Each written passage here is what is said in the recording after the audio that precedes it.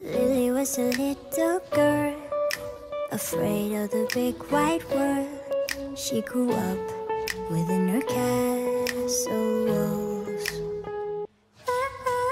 Now and then she tried to run, and then on a night with the setting sun, she went in the woods away, so afraid,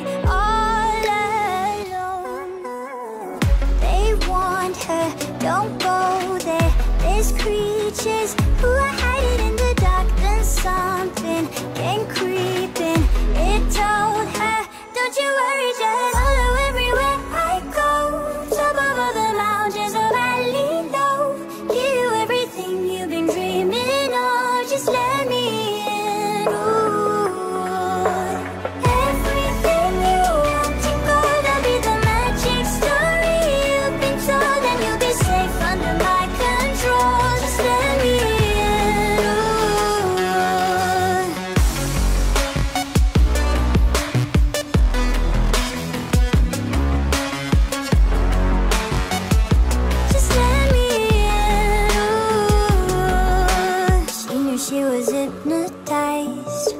and walking on cold thin ice.